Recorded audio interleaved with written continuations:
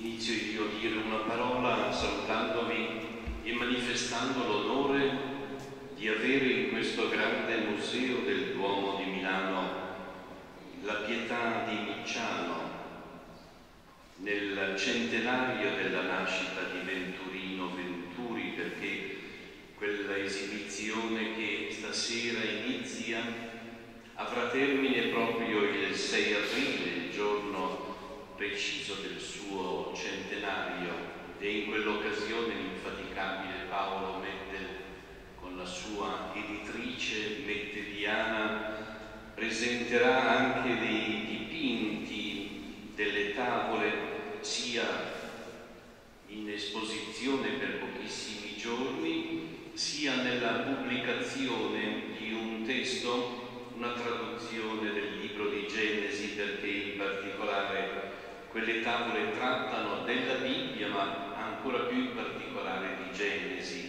quindi un volume per l'occasione con una nuova versione di Genesi e con tavole di Venturino Venturi.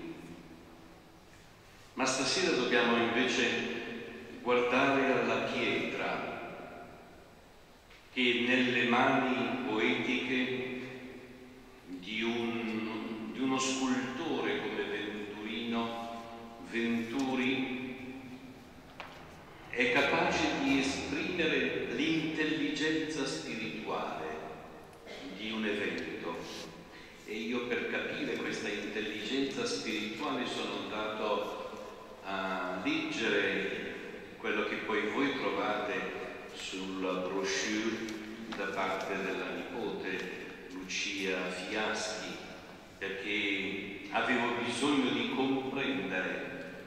questa sintonia che esiste tra la pietà della pieve di Micciano e il tema della vita espresso in questa pietà.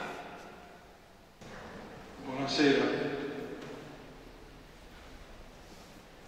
Rimani dove sei, ti prego, così come ti vedo. Non ritirarti da quella tua immagine, non involarti ai fermi lineamenti che ti ho dato io, solo per obbedienza. Non deserti i miei giardini d'azzurro, di turchese, d'oro, di variopinte lacche, dove ti sei insediata e offerta alla pittura e all'adorazione.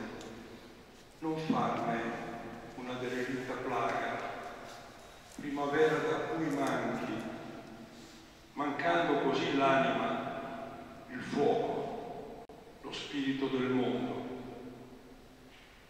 Fare che la mia opera ricada su se medesima, diventi vaniloquio, colpa. Queste sono le parole che Mario Luzzi mette in bocca a Simone Martini nel poema lirico Viaggio terrestre e celeste di Simone Martini. E voglio sottolineare che a me sembra che questi versi, questi stessi versi, si possano adattare perfettamente a Venturino Venturi. Venturino in questa scultura è come colto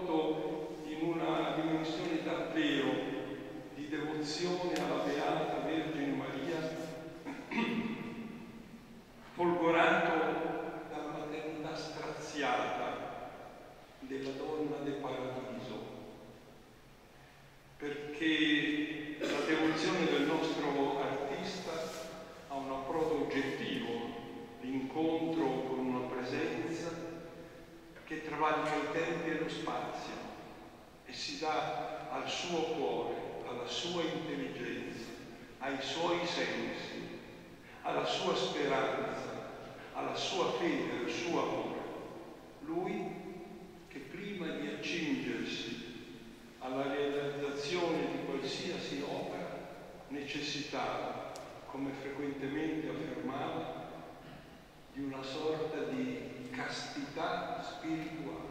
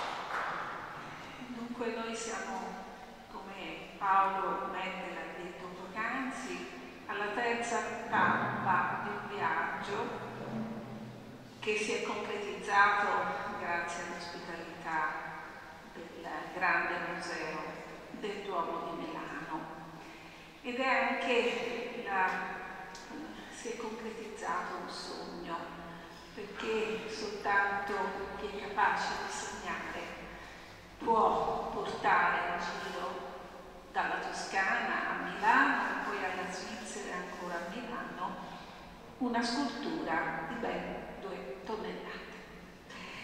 Uh, è un sogno che è, che è la pietra che sta qui a Milano. Dunque, il tema della pietà, contrariamente a quanto si può pensare, non è un tema così comune alla storia dell'arte. Noi conosciamo ovviamente tutti quanti le molte deposizioni dalla croce, ma la pietà, se noi la dobbiamo descrivere, il gruppo che unisce la Vergine dolente al Cristo morto, in realtà si affaccia alla storia dell'arte nella spiritualità tedesca tra XIV e XV secolo. Io sono in chiusura quindi non vi tratterrò molto.